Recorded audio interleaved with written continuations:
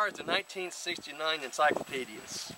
It's been a lot more information since 69, so these really aren't worth too much, but they are to us in earth bag homes. And how are we using them in the earth bag home? We're grinding these up to mix with the Portland cement to make papercrete. And this will go over the inside and outside of the bags and keep our home warm and comfortable for the winter and summertime. Anyway, this is the only way I can figure out how to do these books to make it easier for us. To, to, we need to turn these pages into mush.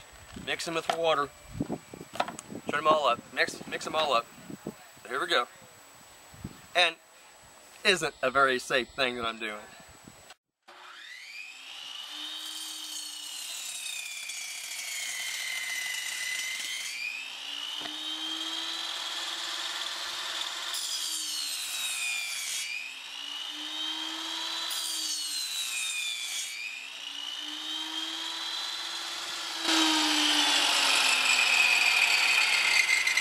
After I do uh, two or three of the books, encyclopedia books, put them in the, in the barrel and I stir them just to separate all the pages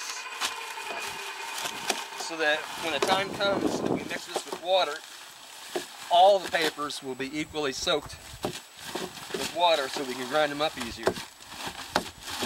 And these will go a heck of a long ways in getting our house done.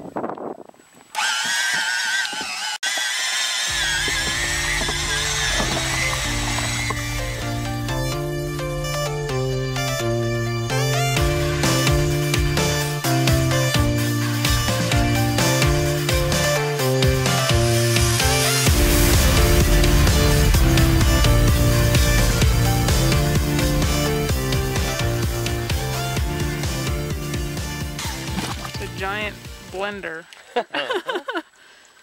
you. Is that uh, just newspaper or is there magazines?